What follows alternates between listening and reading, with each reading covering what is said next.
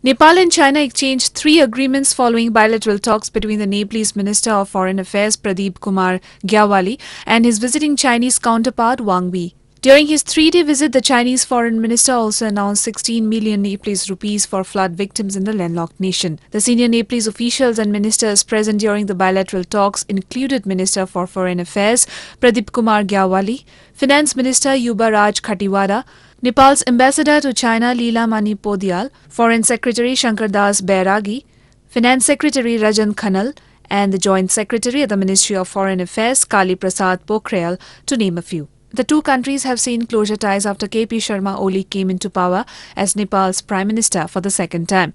As per the agreement, China would build a well-equipped hospital in Manang district of Nepal, which is estimated to cost around 350 million Nepalese rupees.